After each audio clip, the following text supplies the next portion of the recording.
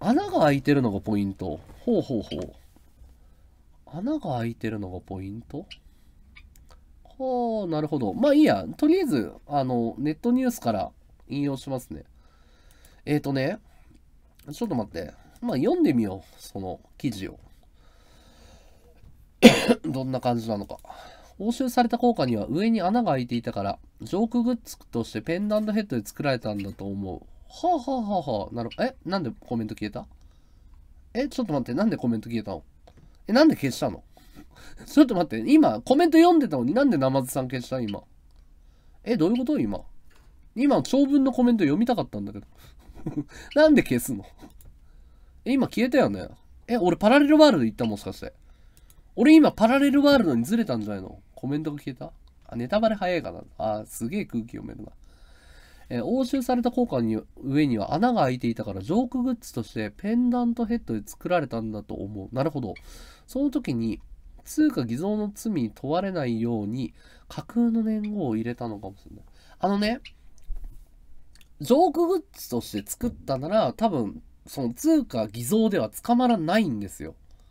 この事件はそこじゃないんだよ。通貨偽造じゃないの。だって架空の1万円を作ってるわけじゃん。確かにでも穴開いてんの何なんだろうね。撮影用に開けた。な、なんだろう。ちょっととりあえず事件のやつを読んでみましょう。記事を。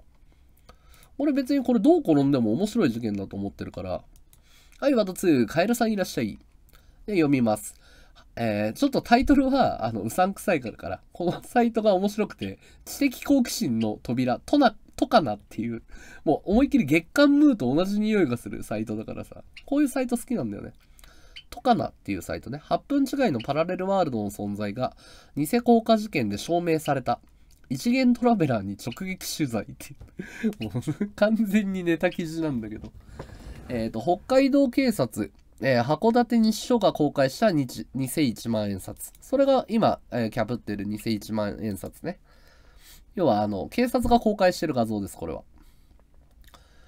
あ、あ、熱い陰気がないと作れないよ。そこら辺もね、謎なんだよね。何が何だかよくわかんないんだよ。ああ、そうだね。ナマズさんそうだね。えっ、ー、と、3月14日、先週か、奇妙なニュースがテレビに流れた。ほう。偽の1万円硬貨を使用した疑いで1人の男が逮捕されたというのだ。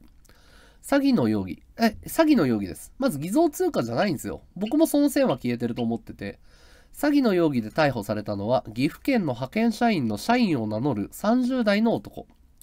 岐阜県の派遣社員の、派遣会社の社員を名乗る30代の男と。今年の1月、北海道の函館のコンビニで買い物を装って偽硬貨を使用し、商品とえー、釣り銭8500円を騙し取ったとされている。要は1500円の買い物をコンビニでして、これで払って8500円を騙し取ったと。ね気になりますよね、青りんごさん。うん、あ、ヒコヌンさんいらっしゃい。そう、詐欺事件です、これは。うん。そこはね、別になんか偽造通貨じゃないっていうのは分かってたから、架空のコインなのは分かってるじゃん。えー、しかし、実際に使用されている500円や100円 ,100 円の硬貨の偽物なら偽物ならともかく、偽の1万円硬貨などという見た瞬間に発覚するような犯罪をなぜこの男は行ったのだろうか。また、えー、画像で公開された偽硬貨を見ると、現実の効果としては存在しないはずの昭和65年という刻印がある。裏面の橋のような図柄があるが、それも日本国に存在する橋ではないと。えー、日本国に存在しない橋が描かれてるんだって。ブリッジの橋ね。さらに、捜査機関が偽1万円硬貨を鑑定にかけると、高価な希少金属が使われているなど、上質な材料で、えっ、ー、と、その、なんか、製造技術も大蔵省の、えー、貨幣と比べて遜色ないレベルだったんだって。要は希少金属が使われてるし、これを作る技術が大蔵省並みの技術だったと。そもそも精巧な1万円硬貨など使い道がないようなものを一体誰がなぜ作ったのだろうか。ハート10個プレゼントありがとう。うん、昭和65年ですね。うん、65年で書いてあります。そんな時、こっからね、とんでもになってから面白いよ。記事読んでいくね。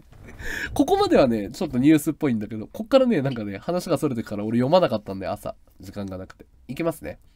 裏の箇所も見てみたいよね。えーそんな時、関係者を名乗る人物が、これは実在する8分違いのパラレルワールドから混入してきた効果に違いないという情報を、えー我々の元に届けてくれた。というわけで、匿名を条件に、昭和65年が存在する8分違いのパラレルワールドについて取材を申し出た。違う違う違うここがすごいところ。この、この、あのね、とんでもとかね、都市伝説系の面白いところっていうのは、追わなきゃいけないのは、この警察が調べてるこの、こっちの方なのに、なぜか関係者を名乗る匿名の人物の方を取材しちゃうっていうのが面白いよね。このセンスすごくない？俺ね、関明夫とか面白いとか、都市伝説の話組むやつの面白さって、なんか、振りは超面白いのに、なんか関係ない匿名を名乗るさ、これは8分、8分前のパラレルワールドに違いないっていうさ、千葉さんみたいな人が来るんだよ。誰みたいな。でも匿名だったら俺語ってもいいよ、みたいな。ぜひ取材させてください、みたいな。お前そっちじゃないだろ、みたいな。分かっててやってるだろ、っていう。そう。はい、じゃあ、まあ、そその茶番を、茶番を読み上げましょうね、あえて。こっから面白いからね。8分違いのパラレルワールドは実在する。私たちが生きてる世界とよく似た別世界が存在するという話は FF 作品などで頻繁に語られる設定だ。そのうち8分違いのパラレルワールドは、その実在を示す証拠品や証言が一番多いパラレルワールドとされる。情報をくれた関係者は次のように語った。8分違いのパラレルワールドは時間軸の裂け目をパイプにしてこの世界とつながっている異世界で物や人が行き来しているところまで確認されています。すげえな。取材するうちに8分違いのパラレルワールドが広く人々に知られるようになってきたのが2011年くらいであることが分かってきたがその点に関して2つの世界を行き来した経験を持つという警視に話を聞くこともできた。ほう。8分違いのパラレルワールドが誕生したのが、ちょうど昭和から平成にシフトする頃、つまり1988年から89年にかけてだと思います。その頃、宇宙の時間の法則を安定させていた暗黒物質に大きな物理的変異が起こり、時間軸がまるで裂けるチーズのように裂けてしまった。それが理由で、8分違いの世界と我々の世界がチューブなようなものでできてつながってしまったのです。それが2011年頃、広く人々に知れ渡ることになったのですが、東東日本大震災との関係はよくわかりません。よくわかんねえのかよ。ただその時期に8分違いのパラレルワールドでも、もうダメだこれ読めねえんだけど面白すぎて。だってもうめちゃくちゃなんだよ。だってさ、それが2011年頃、広く人々に知られることになったわけですが、東日本大震災との関係はよくわかりませんってさ、よくわからないことをなぜ記事にするんだっていう。うん。へえ、すげえ。2012年、へえ。えーと、その8分違いのパラレルワールドにも地震が起きており、えー異なった次元に存在する2つの世界の闇を重力が津波のように行き来し、そのことが東日本大震災の被害を大きくしたのではないかという研究が、8分違いパラレルワールドでは行われています。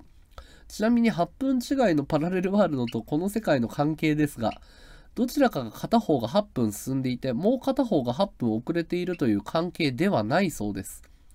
説明してくれた機関車によると2つの世界は純粋に8分間だけ違っていてでも早いでも遅いでもないただずれてるとのことです。なんか村上春樹みたいになってきたな。なんか最後の方ちょっと好きだわ俺。最後の方なんか村上村上春樹みたいになってきた。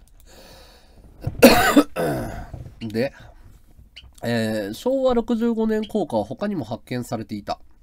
振り返ること数十年我々の暮らすこの世界においては、えー昭和64年1月7日に昭和天皇が玉,、えー玉音召されたそのため昭和64年はわずか 7, 7日間で終わり、翌日から平成元年となったのだ。あ、ご崩御、あなんだ、あの、お亡くなりになられたんだ。つまり我々の、え暮らすこの世界において、昭和65年院の効果など存在するはずがないのだ。しかしどうやら8分違いのパラレルワールドでは、昭和の、昭和天皇の、なんて読むんだろう、これ。あの、お亡くなりになられた結果、昭和が持続し、多数の昭和65年効果が作られている。もう、なんか8分関係なくなってきたの、だんだん。村上、村上龍か。村上春樹っぽくない？なんか。平成17年に発見された昭和65年の500円玉は我々の暮らすこの世界の500円玉とデザインも材質も同じで自動販売機も通過する。ほう昭和65年の100円玉は平成20年と26年にそれぞれ1つずつ発行されており、崩御と読むんだ。ごめんなさい。ありがとうございます。発見されており、デザインは同じだが材質が違う。こうして発見された昭和65年硬貨はいずれもいたずら目的で作られた偽物ということで処理されている。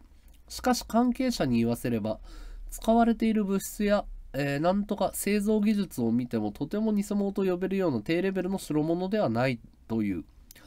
取材を進めるとさらに興味深いことが分かってきた。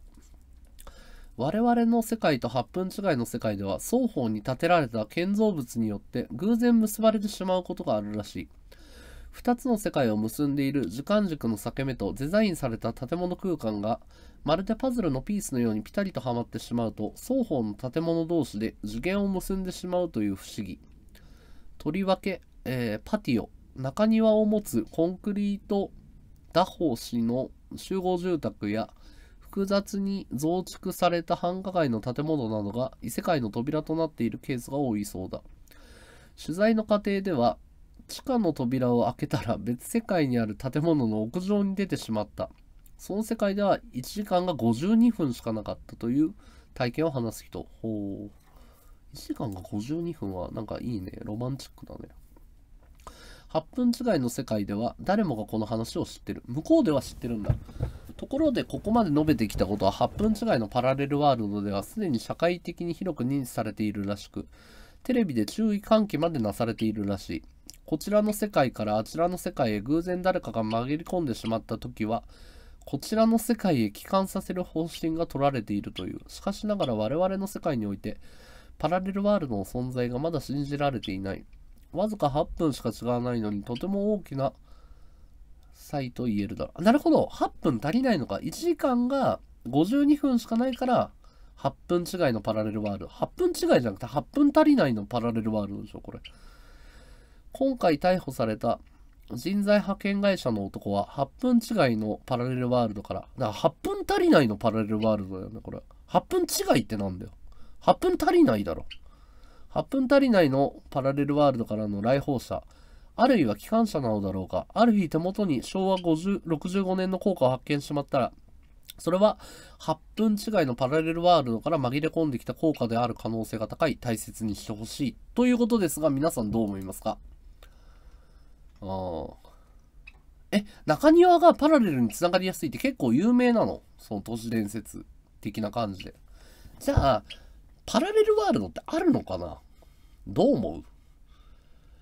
俺ね、でもね、この1万円を作って使おうっていうのはバカすぎると思うの。だって1万円する方が偽造としてはやりやすいわけじゃん。まあやりづらいんだけど本当は。何なのこれ？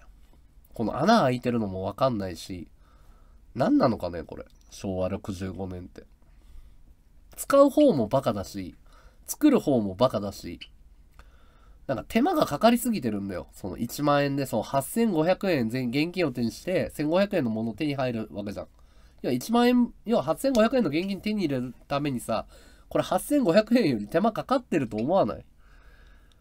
それが俺不思議だなっていうふうに思ったの。だったらさ、もっと他のことやらない？猫さん、風船ありがとう。いや、8分足りないだと思うんだよね、俺。8分違いっていう言い方おかしいと思うんだよ。だって向こうの世界は52分しかないんでしょ ?1 時間。だから8分違いじゃなくて8分足りないのパラレルワールドでしょ。あるよ。建物の中にもう一つ空間を作ること自体があんまり良くない。あー。建物の中にもう一つ空間。なんか俺のイメージだとそれ、あの、音響の部屋っていうか、ライブハウスとかが部屋部屋になってるからそういう感じだと思うけど。スタジオとか。あるんだ、パラレルワールド。その、え、何なのこれ。これ、これどう思う？カブニートはこれどういう風に読むのこれ本当に8分違いのパラレルワールドから持ち込まれたものなの？これなんか合理的に考えて俺は意味がわからない事件なんだよ。うん。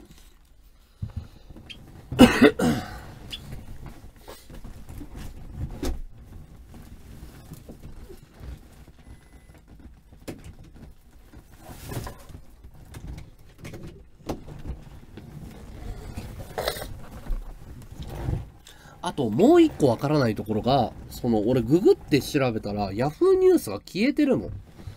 なんか怖くない？これはちょっとえって思ったのさっき。なんか要は、ここのニュースサイトのリンクはあるけれども、その情報元になってる Yahoo のページは全部消されてるんだよ。その根拠は説明できない。俺は実はあるんじゃないかと思ってるんだけど、こっちから見ると8分足りないいやあ、そっか、向こうからすると、あ、天才。やっぱ俺アスペだな。そうだよ。俺らからすると、8分足りないっていうのは俺ら目線だ。向こうからすると、ふざけんなよって。8分違うだけだよってなるよね。喧嘩だわ。そうだよ。向こう側からしたら8分足りないじゃない。なんでお前らが、お前ら基軸なんだよってなるわ。すげえな。よく、え、お天道さんよくわかったね。俺もうブチギレてたよ、多分、この記者に。目の前だったら、8分違いだろうがよって。あ、じゃあ、8分足りないだろ、どう考えてもって。絶対なったもん。そう。うん。そうだよ。向こうの世界からすると52分が1時間なんだから、いや、なんでお前ら基軸なんだよって。8分足し足しだよって。お前らの世界が8分増し増しだろうってなるもんね。ああ、俺今自分でアスペだと思った。典型的なアスペルガーが出てたね。うん、ザ・アスペルガーですよ。うん。まあ、簡単に言うと脳、脳が壊れてるんだけど。8分足りないね。あったら面白いなと思う。まず買った本人どっから入手でもさ、それを示す、要は北海道のニュースとかが消えてるのがなんか変じゃない？要は、え、な、なんだろうこれ。なんかもやっとすんだよね。なんか政府の方がもみ消そうとしてる感じしない？何なのこれ？え、誰か掘り下げてよ、これ。え、なんでこれ注目されないの？このニュース。えな、なにこれ？何これ？何なの？これ？昭和65年って。なんで穴開いてんだろう？何なの？これ。何これ？本当に意味わかんねえ。まあ、あの、えっ、ー、と、そろそろ結論に入ります。意味わかんねえ、マジで。全然意味わかんねえ。終了です。はい。都市伝説でした。やっぱダメだわ。千場、千場の領域で戦ったらダメだわ、俺。都市伝説下手だわ。北朝鮮絡み？いや、店員が気づいたから通報してるわけじゃん。そこはね、別に問題ないと思ってて、要は記念効果かなみたいなノリで、でも店長みたいな、ダメだよみたいな、すぐ警察だよみたいな流れだと思うんだよ。じゃないと逮捕されないと思う。あ、違うな。1月に逮捕されて14だから、違うわ。店員さんは渡しちゃったんだ。で、後日逮捕だ。うん。ヤフーが消すってなかなかないよ。うん、ヤフーなかなかないですよ。北朝鮮絡み。あー、北朝鮮であった、あー。でも、万円って1万円は日本語じゃん。昭和65年も日本語だよ。え、どういうこと？北朝鮮が1万円硬貨作るか？北朝鮮ってそんなバカな国なの？さすがになくねえか？なんか北朝鮮をバカにしすぎじゃない？ちょっと。さすがにそれなくねえか？さすがにこれバレるでしょってなるでしょ。うん。ああ、機械がないと大量に作れないから個人じゃ無理だよね。だって機械がないと作れないし、大量じゃなくてこの1枚しか出てきてないわけでしょ要は。何なのこれ。製造法としては、なんとかじゃなくて削り出しだね。表と裏が少しずれてるから。あー、なるほど。削って作ったんだ。いろいろめんどくさいんだよ、その辺の話は。民間人が知ってても意味ないこともあるから。え、なんで株ニートは民間人じゃない側からの意見を言えるの？我々、我々はみたいなところから、すごいところから今コメント打ったよね。なんか。え、株ニートは民間人じゃないの？もっとなんか、もっとフリーメイソン的なところから今コメントしたよね。もっとなんか、イルミナティ的なコメントしたよね。うん。我々レプテリアンが、みたいな感じで。わかんないけど。すごいなんかそんな感じがしたんだけど。ビオニッチ趣向だっけ？あれ面白いよね。うん。あ、コメント消えた。うん。清掃、あんまいじると、あんまいじるとコメント消すかんな、お前ら。うん。効果の年代はこちらで言う何年なんだろうね。何なんだろうね。本当にいろいろわかんないよね。うん。なんですぐコメント消すのやめて。もう自信持っていこう。自信持って。うん、和道にいじられてこう、もっと。そしていじり倒してこう。いじり合ってこう。もう北朝鮮だったら偽物の500、俺もそう思うんだけど、なんか偽物の500円作って500円をどうこうするっていうのも小さいスケールだから、やるんだったら1万円札でやれよっていう感じなんだよ。てか、1万円札の偽造も小さい話じゃん。なんか、その、なんつうんだろう。この効果1枚作るのが理にかなわないっていう、わかる？なんとなく。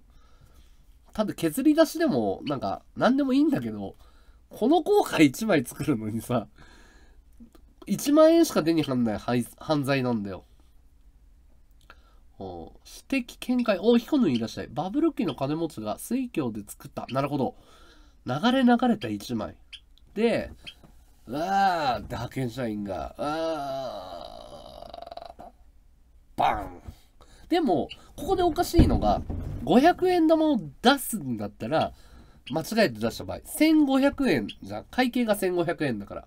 要は8500円受け取ってることは、1500円のぴったりの商品を買ってるんだよ。だから逆にコンビニで1500円ぴったりの商品何だったのか知りたいんだけど、何がある？?1500 円って。コンビニエンスストアでさ、1500円ってなんかぴったりだよ。逆に何買ったんだこいつ。それ、いろいろ気になるな。何買ったんだろう。ぴったしカンカンのやつ。お土産のキーホルダーなのかななんか、いろいろわかんなくて面白いんだよね。バブルの金持ちが水郷で作ったは、俺、結構いい線ついてると思う。なんかギャグ。金持ちのギャググッズね、渾身の。が流れに流れた。はあ。そしたら、この、このコイン作った人センスあるけど、だったらさ、酔っ払いがそれ流れに流れたとして、使うか？うん。使うか？頭悪すぎるだろ、そいつ。何なんだろう、この事件。もやっとするなめちゃくちゃもやっとしないみんななんかこれ、このニュース見て変って思わないの？なんか俺すげえなんかもやっとしたよ、これ見たとき。何なのこれみたいな。岐阜県のやつが北海道のコンビニで使ってるっていうのも、そうそうそう。まあまあ、それはあるかもしんないけど、なんかいろいろよくわかんねえわ、俺、正直。なんかいろいろ全然わかんなくて混乱するんだよ、この、この流れが。今まで世に出なかったのも不思議。それもある、それもある。だから、その、まあ、パラレルワールド、おーおーおーおーおーリュウさんはどつです。花火10個ありがとうございます。ファンタジック。ありがとうございます。すげえな。ありがとうございます。なんか変な話なんですよ。リュウさんこれどう思います？なんか、1万円効果が出てきたんですよ。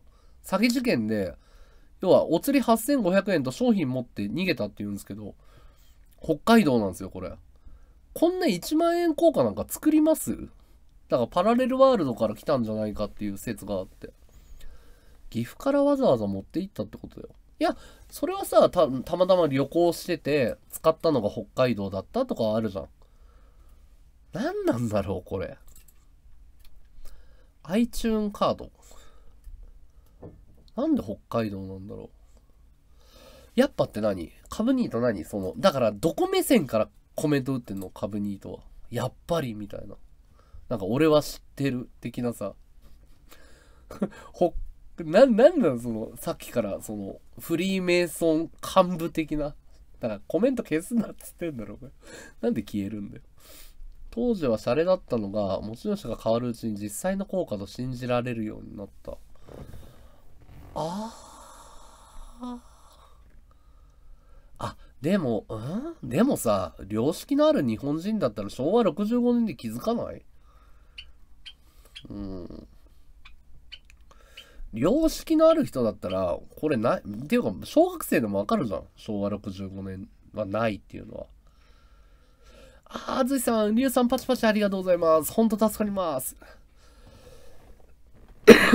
何なんだこれ、マジで。でも結構ラグってるのかな、この放送。どうなんか体感的にみんなラグってるこれ。ど、どんな感じ持ってた犯人の特徴全然書いてない。あの、30代で、岐阜で派遣社員の、えー、派遣会社の社員を名乗ってる人。うん。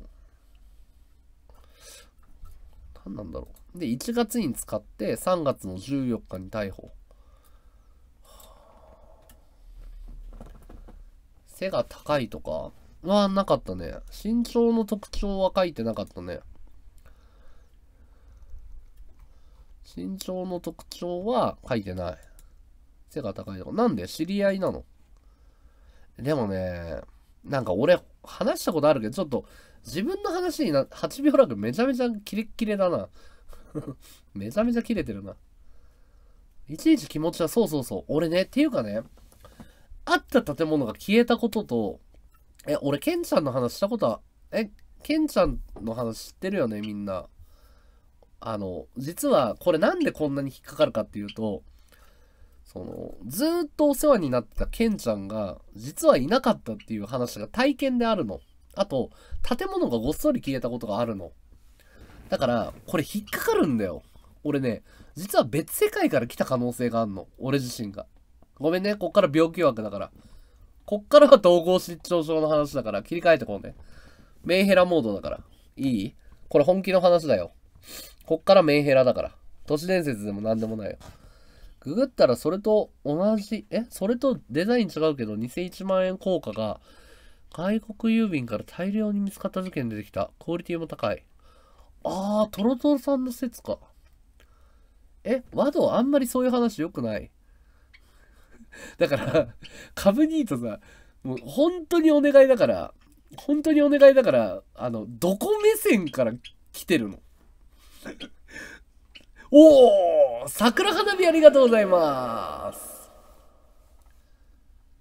桜桜今咲き誇る。え、何？それまたコメント消えたし。この話ってあんましない方がいいの？なんなの？その、なんか世界政府に近い的なコメントやめてほしいんだよ。超怖いんだけど。え？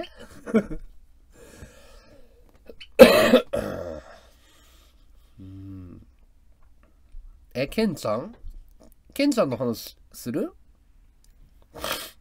え、結構、結構長いよ。10分ぐらいの尺取る話だけどいいの？ケンちゃんの話。聞く？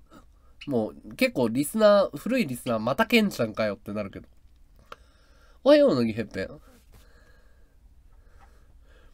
僕らは、きっと待ってる。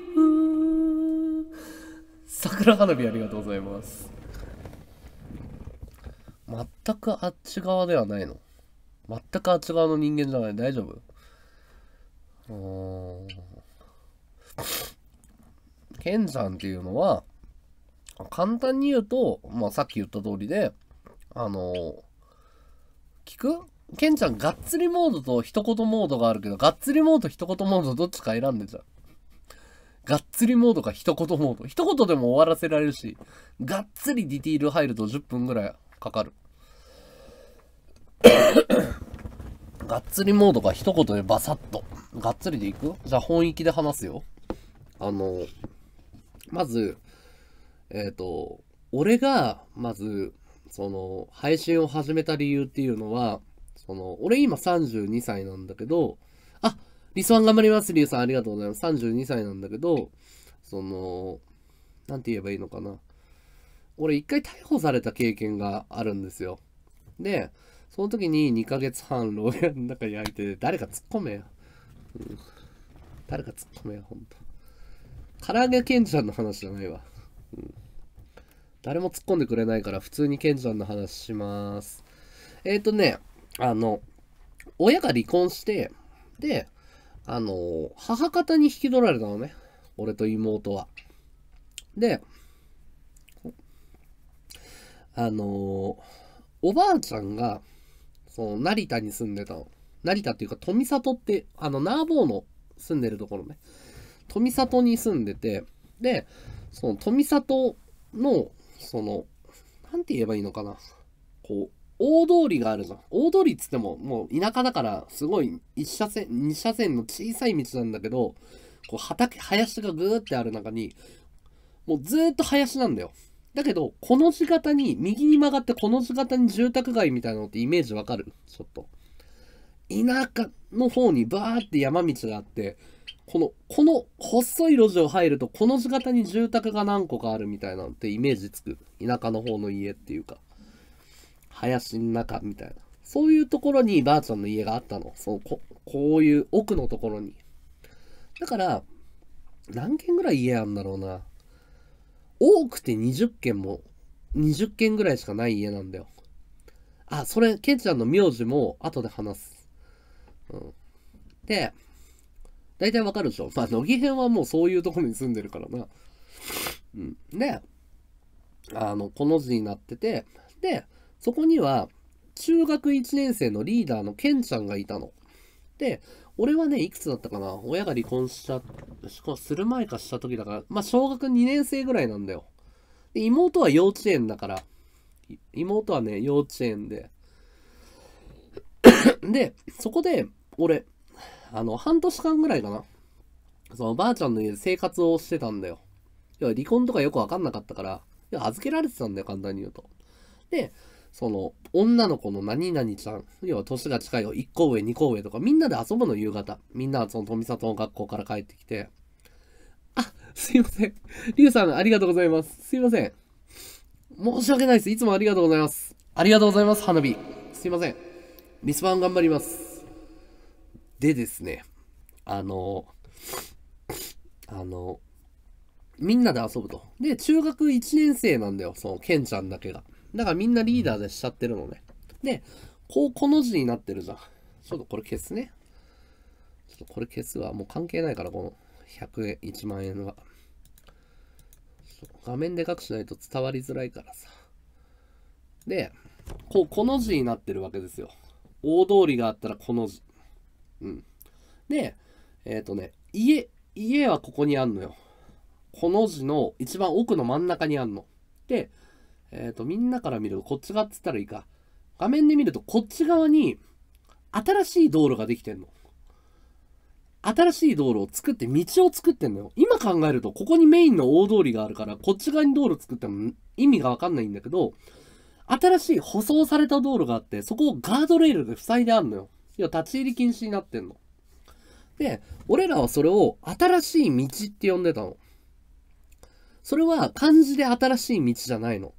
あのね、カタカナなんだよ。それは文字を誰も書いたことないし、イン、なんつうの、インスピレーションで、新しい道って呼んでたの。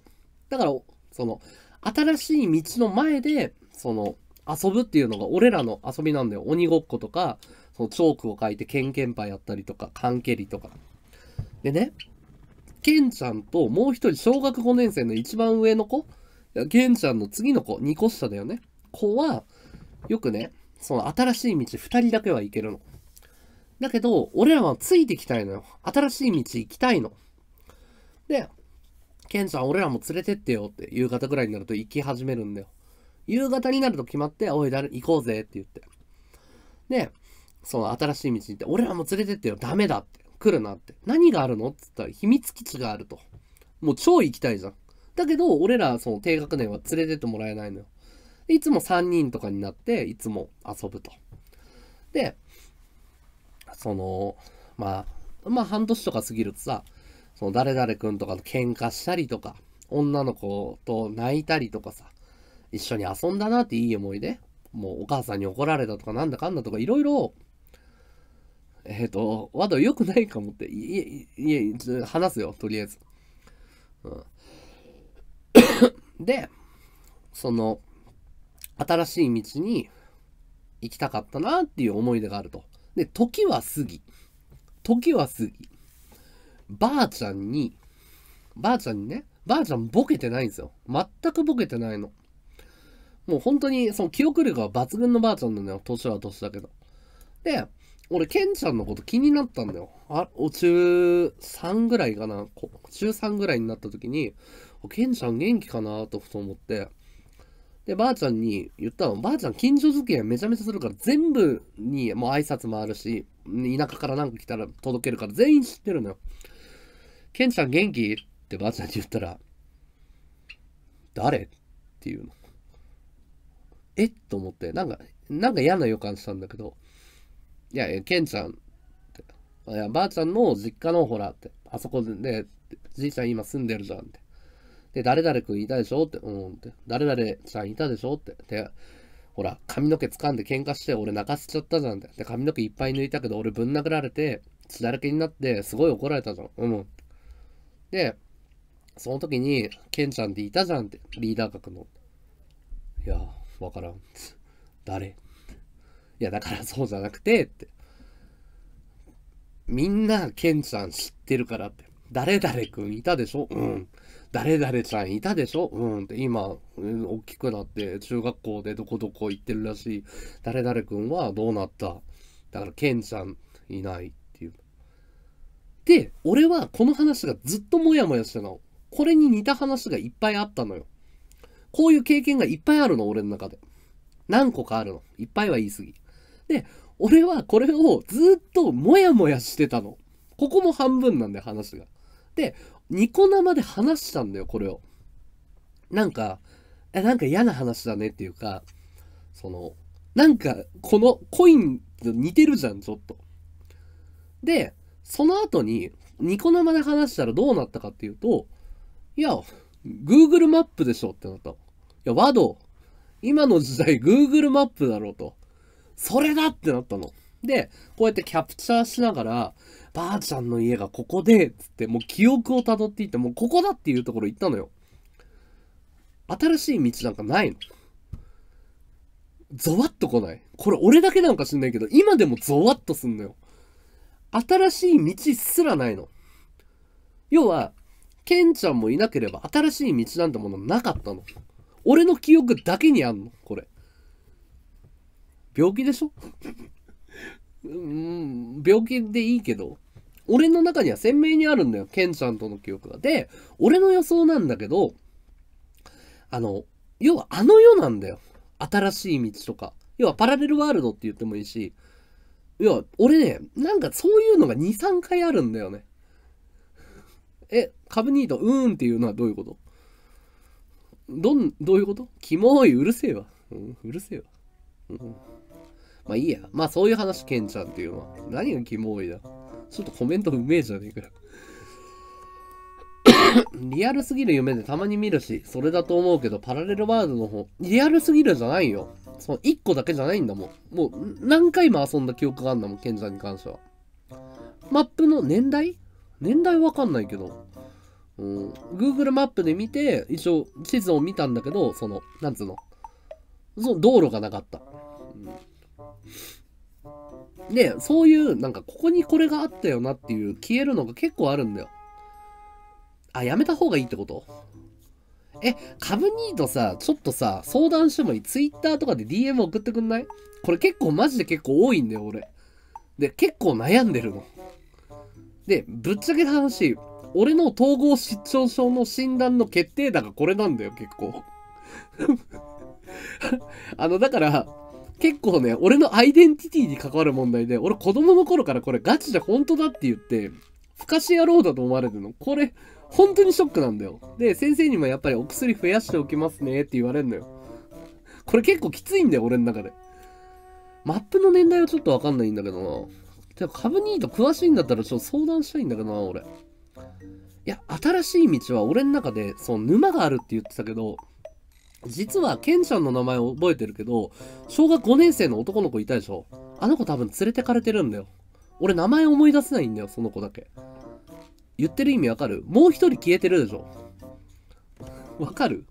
ケンちゃんが遊びに連れてった子って、俺名前覚えてないけど、その子は行っちゃってるんだよ、向こう側。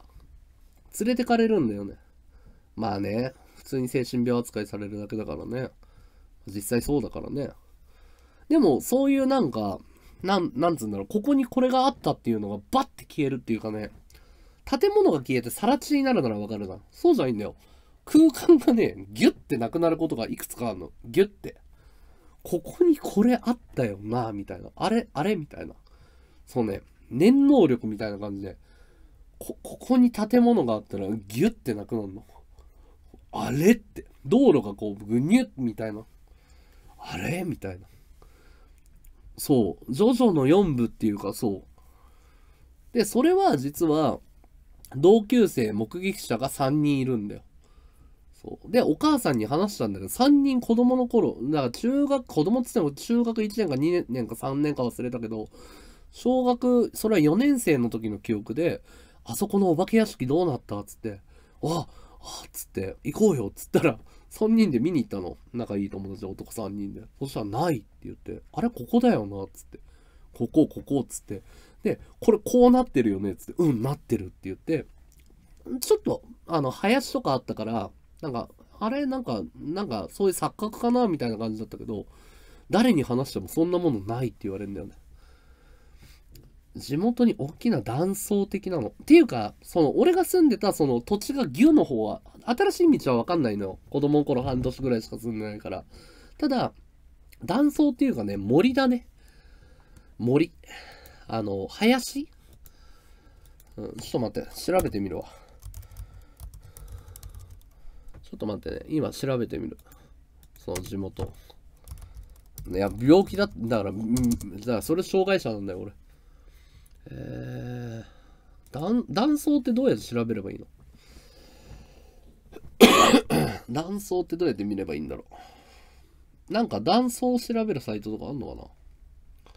その頃遊んでた子供たちで、だから、一緒に遊んでたその女の子と男の子、要は喧嘩した記憶とか、要は、ケンちゃんに、ケンちゃんの記憶はあるんだけど、ケンちゃんのもう一人いるでしょ？5, 年生と。で、その二人はばあちゃんも実在するって言ってんのよ。何々ちゃんは中学生になってどうとか、つじつまが合うの。だケンちゃんだけいないって言われて、ファー？みたいな。絶対ありえないでしょ？みたいな。トトロに会いに行くメイちゃんみたいな。なんか、その、ふわっとした話なんだよね。こだから、ケンちゃん以外の人で確認が取れないのが、その小学5年生の方。要は、ケンちゃんが沼、新しい道の奥の秘密基地に行った方は、名前覚えてないんだよ、俺。だから、向こうに連れてったんじゃないかなと思って、ケンちゃんが。と思ってる。だから、お前らま、まだ早いっていうのも、来るなよっていう意味なのかなとか。うーん。何なんだろうね。うん、多分違うね。病気だね。断層の調べ方がわかんないけど、何なんだろう、これ。すごいね、こういうのふわっとするんだよ。すごい嫌なの。なんか、その、狐につままれたっていうの？なんつうか、その、化かされたっていうかさ、何なんだこれみたいな。俺はこれをどう捉えるのが正解なんだろうっていう、不思議なね、不思議な感覚なんだよね。どうしたらいいかわかんないんだよ、これ。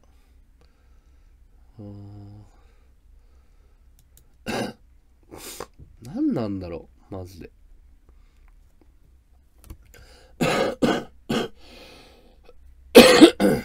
こういう体験ってないのかな、みんな。え、こういう似た体験ある人いない？なんかこう、物がなくなったり、いたはずの人がいなくなったりとか、なんか、そういう不思議な体験っていうの？不思議な体験。あなんかあんまり盛り上がらないから謝罪枠やっていいっすか？あんまり盛り上がらないから、あと3時間謝罪枠もう一回やっていいっすか？いい？もう、もう俺はリスワン取りたい、今日は。ないないか。そうか。だって都市伝説で千場と張り合うの嫌なんだもん。めちゃめちゃめんどくさいんだけど。めちゃめちゃ向こうが有利じゃん。千場の方が面白いじゃん、絶対。うんもう会えないの？夢とかにも出てこないの？うん、夢とかにも出てこないし、会えないね。うん、会えないんだろうな、多分。多分ね。うん会えないと思うよ。どうすればいいんだろう。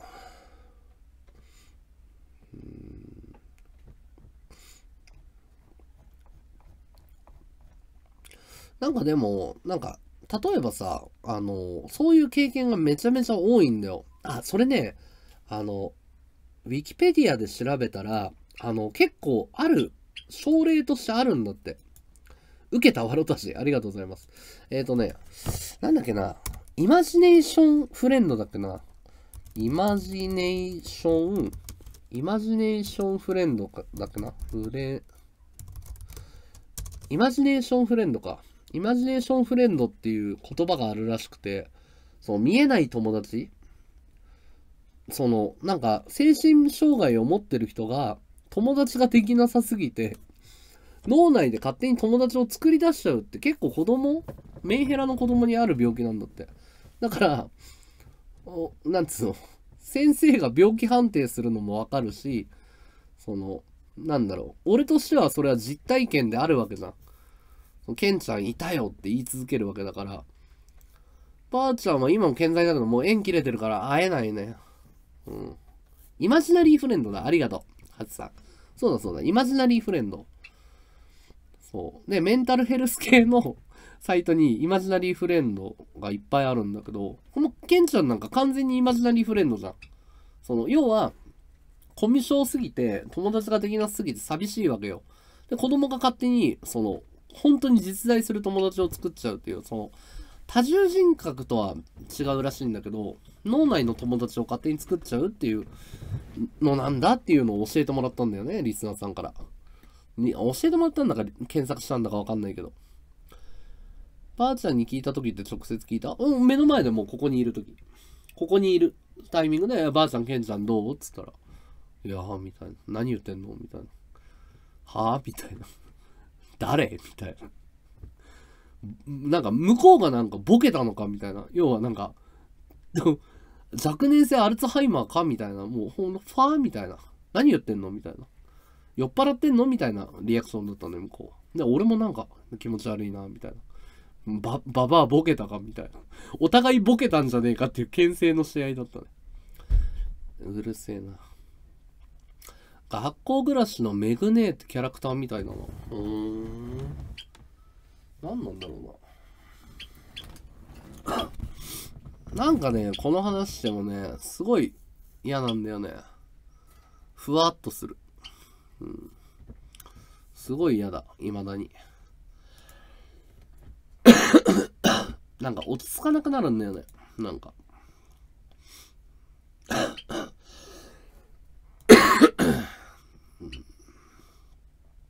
だから、今回のこの、何 ?1 万円硬貨の話あるじゃないですか。これなんか、まさに、その、なんだろう、別世界があるような感じがして嫌な感じがするの、俺は。他の友達のケンちゃんのこと、その友達が、その、僕は会ってないんですよ。その女の子と男の子には。でも、俺の経験上多分、その二人の、よく遊んで喧嘩した方は、ケンちゃんの存在わかるはず。子供の頃そういう出来事だっても気づかないかもしれん。うん、奇妙な話。え、だから世にも奇妙なみたいな話だよね、ケンちゃんは。多分似たようなシチュエーションの2つが脳内の記憶に1つに統合された。だから記憶の難病を突き進めると矛盾が起こる。ないの。それが。俺の中ではないの。例えば、そう、奥には行ったことないけど、新しい道、絵で描けるの。絵が下手なんだけど。その、なんつうんだろう。こういうのだよっていうのも描けるんだよ。それくらい鮮明にあんの。言ってる意味わかる？で、ここに林があって、ここにガードレールが2つあってとか、で、奥の方が見えないのよ。途中までしか舗装されてない道路でとか全部見える。今まで和道に謎の共通点感じてたけど、今日で大体分かった。おだから、その、例えばなんだけど、これ超変な話なんだけど、例えば俺が誰かと歩いてるとすんだ。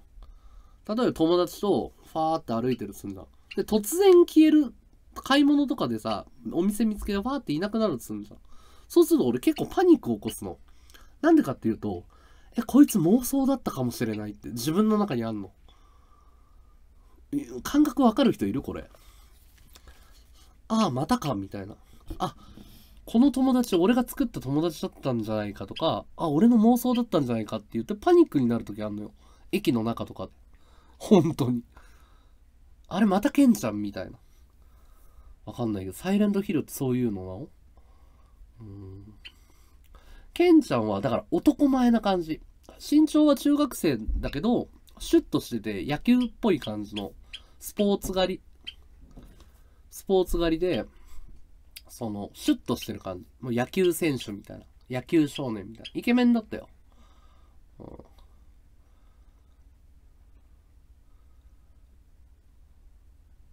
なんか怖くなってきたな。うん、なんか怖くなってきたな。わらわらの意味もわかんないし。もうなんか嫌だこの話。俺怖い。自分の部屋なのに怖いし、釈迦がすげえ泣くのが嫌なんだけど。何なのさっきから釈迦ピッピッピッピ。あ、そうなんだ。へえ。アイアムヒーロー。うん。なんかね、すごい嫌なんだよ、さっきから。怖い。小さいおっさんといい、わざ楽しい体験してるな。え、あのね、なんかね、後味悪いよ。だから、なんつうんだろう。なんつうんだろうな。だから、俺は、その、怖いのが、これを、その、なんつうの？同じ感覚で、その、みんなが、え、それ怖いよね、ゾッとしたよっていう感覚で聞いてくれてんのか、このおっさんやべえなっていう感覚で見てるかっていうと、俺は自分で体験してるからみんなわかるよね。これ超怖い話でしょ？ゾワッとしてくれたでしょ？って思ってるわけじゃん。でもみんなはさ、このおっさん気持ち悪いなっていう目で見てるんでしょおそらく。だから、その、もう本当に自分が健常者だと思って生きてるわけですよ、自分が。だけど、このギャップが怖いんだよ、俺は。その、俺やばいの？みたいな。病気かな？みたいな。しゃが泣いてる時は、餌か光のせいだから布をかけてあげると。そうだね。うん。餌はね、いっぱい入ってるから。光かな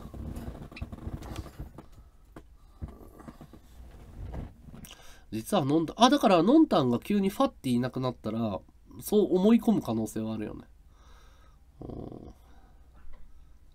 ガラスのドアをノックされたのに、ドアの向こうに誰もいないなかったから、ちょっとワクワクしました。怖かったけど。ワクワクするんだ。俺は怖いな、そういうのは。めちゃくちゃ怖い。ていうか腹減ったな、今日。めちゃめちゃ腹減った。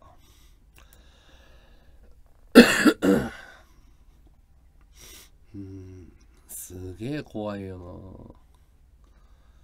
な。うん。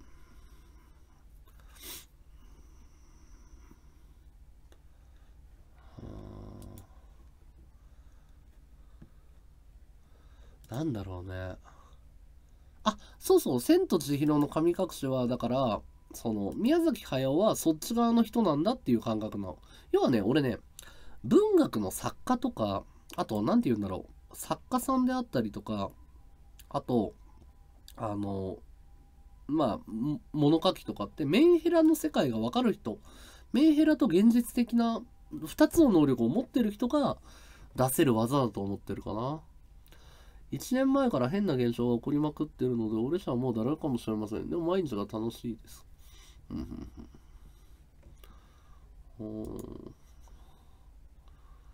だから、その、だから、よ、あのね、これ俺本気で言ってるけどさ、世界を旅したいとかさ、日本中旅したい時に、俺の理由が、この宇宙に生きてる実感がないとかさ、あの、アフリカがあるかわかんないって話よくするじゃん、俺。それはね、こういう体験から来てるんだよ。もうね、目で見ないと信用できないんだよ。だから、もう、わかる？もう宇宙なんてないと思ってんだよ、俺。正直。だって誰かが作った仮想現実でさ、そんな情報も囲い込んだらさ、いくらでも洗脳できるわけじゃん。だって宇宙なんか行けないの分かってんだから、個人の力では。だったらさ、映像技術とかでさ、何でもかんでもこうやってインターネットでそれっぽく作っておけばできるわけじゃん。情報の操作なんて。北朝鮮なんか俺本当はないのかもしれないと思ってるからね。うん、いや、マトリックスの世界本当に本当に。うん。本当にそうだと思うよ。うん。ちょっと左側の電気。うん。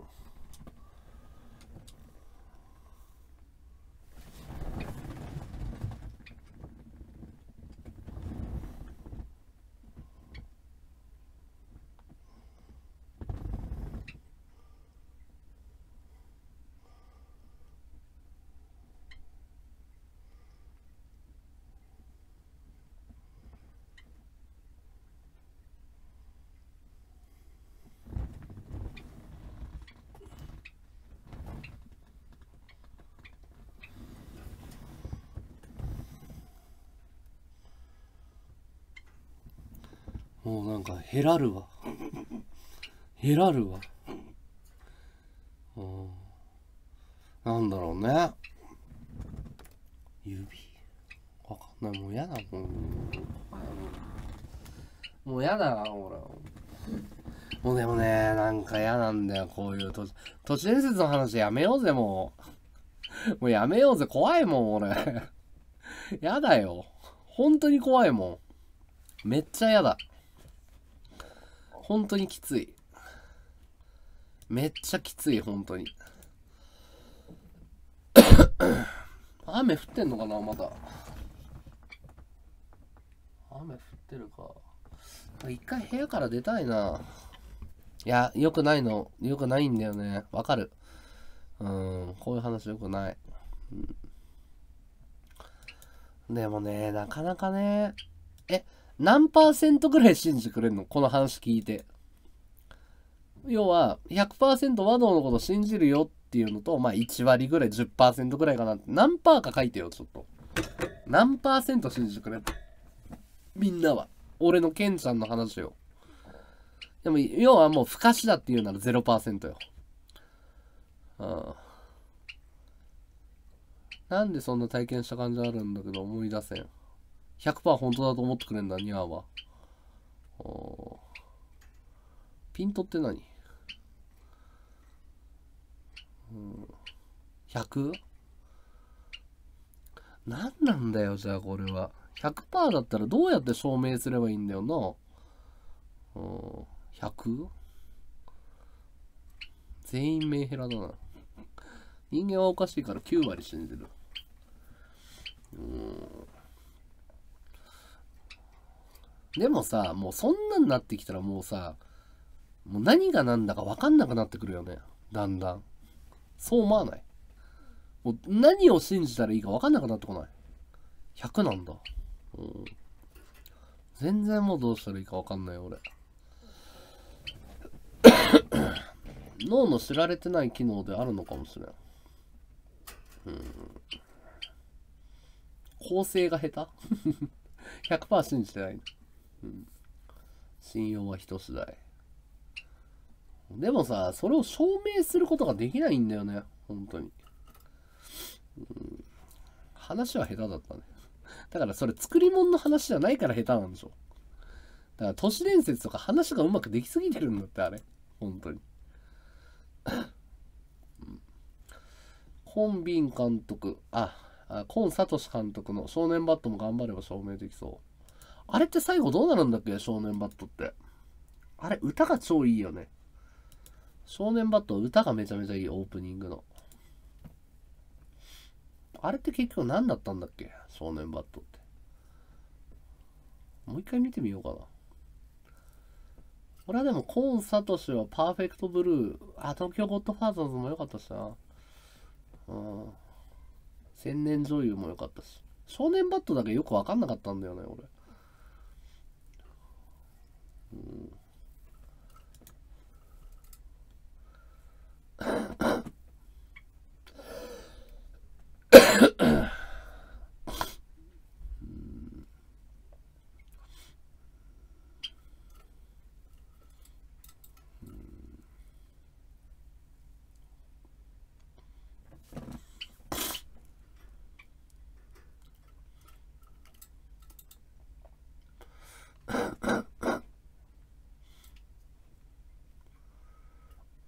そういえばさ、近藤組組長がさ、捕まって、裁判っていつだっけ？東京地裁じゃなかったか？ん東京、なんだっけ？地裁じゃなくて。と東京で裁判やるんでしょ？あ、こんばんは、ゆうさん。近藤組組長。合ってるよね？もうやったの？え、結局どうなったかとか知ってる？みんな。近藤組組長。休憩出てない。まあ、一発では出ないよね、多分。2回目だよね。今日なんだ。あ、行ってみたかったな。え、どんな噂なの？え、ちょ、誰が見に行ったんだろう？ベンド太郎さんとか見に行ったのかな？誰か見に行った配信者とかいる？もしくは俺見に行ったよとか。2回目後半。ほんほんほんほんほんほん。すごいよね。だってもう、あれでしょ？確定でしょ？シャブやってたんだよね、結局。すごいよな。そうそうそうそう。近藤組組と。まあ、絶対やってるもんね、顔。誰がどう見てもやってたもんね。俺はもう初見で近藤組組長のお風呂に湯船に使ってて、あの、シャブやってねえよわっはっはっはって笑ってる枠を見て、絶対シャブやってると思ったけど。典型的にシャブやっててやべえなと思って。なんかビジネスホテルみたいなところ泊まってて、顔、クマがこんなんなってて、シャブなんかやってるわけねえだろって笑ってて、すげえなと思ったけどね。執行猶予あれば前のと合わせてたから。執行猶予はないんじゃないの？わかんないけど。うん。どうなんだろうね。隠してた、隠してたどころか逮捕された時なんてさ、やってねえよ、やってねえよってずっと言い張ってたよ。うん。逮捕されんなら逮捕してみろよ、みたいな。ずっと煽ってたよ。顔げっそりだったもんね、常に。で、なんか、その持病がどうのこうのっていうことをずっと言ってたけど。うん。さすがに無理があるだろうとは思ってたけどね。うん、すごいよね。あ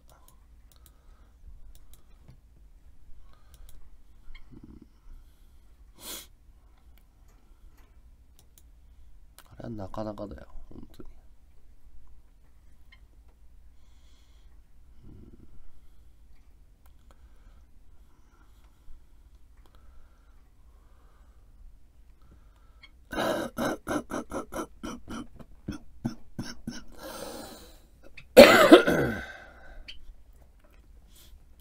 薬の効き目って半日ぐらいわかんない。シャブはもうやったことないから。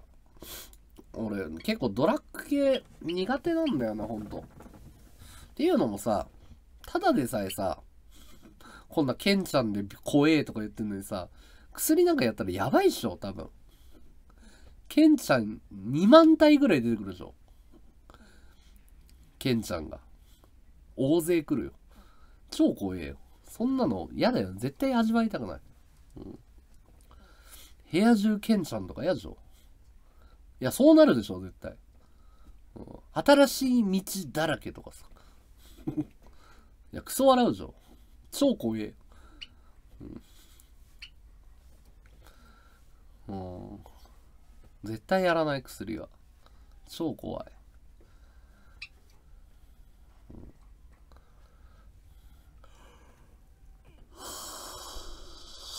超眠い。うん。外配信しようかな。外配信しようかな。どうしようかな。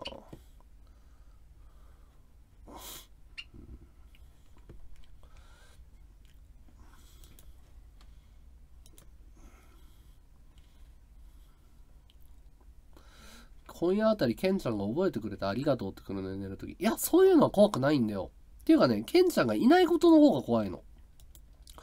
あの、その感覚なんだよね。別にね、夢でありがとうって言ってきても、怖くないんだよ、俺的には。本当に。そうじゃなくて、なんつうんだろう。いた人がいないっていうか、俺の中に確実にいたのに、この宇宙では誰もそれを知らないみたいなのが怖いんだよ。何それみたいな。どういうことみたいな。だケンちゃんが怖いんじゃないの、好きな振り毛の、振り、振り毛がよくわかんない作者が投稿視聴症だけど想像もつかないことを言い出して不気味だったりする。おうん。例えばなんだけど、例えばだよ。なんか、ツイッターに、和道つまんねえって書いたっつうんだ。そしたら、和道って誰？って全員から言われて、検索したら和道なんて存在してなかったってなったらゾッとしない。もう和道の今日の枠ないわとかツイートすると。で、周りから、なんかいつも和道和道って言ってるけど、何の話ですかっていきなり来て、で、検索したら和道なんて存在ないと。脳内で作られた現象だったんだなと、ゾッとするでしょ。わからないその感覚。それに近いと思う。松本人志のゾッとする話で知り合いのナースの、ナースがこ、この世界から消えたっていう話をした人がいた。へえ。知り合いのナースがこの世から消えた。うーん。うん。なんだろう。うん。超怖えよ、マジで。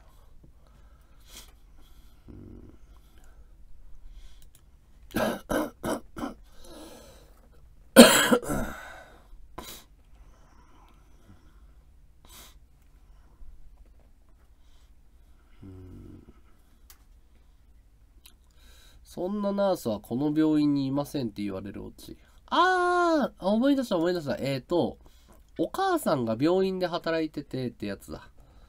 うん。あそそれはわかるよ、俺。女の人が語るやつだ。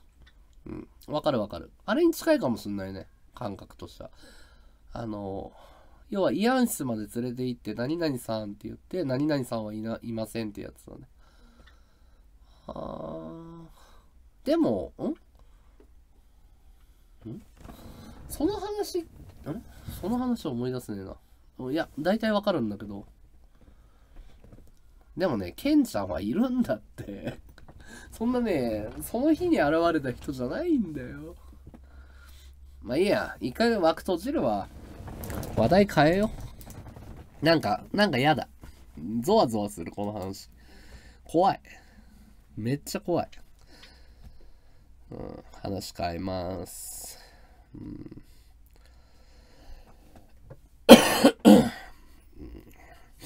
いや、皆さんお付き合いいただきありがとうございました。松本人志のテレビでやってたの、保育園かなんかでずっと遊んだ子供は存在しなかったのもあった。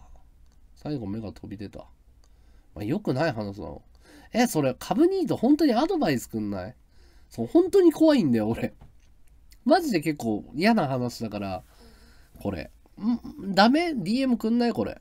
良くない話っていうのはどう良くないのかをもうなんか裏付けが欲しい何でもいいから、うん、超嫌なんだよこれほんと減らるん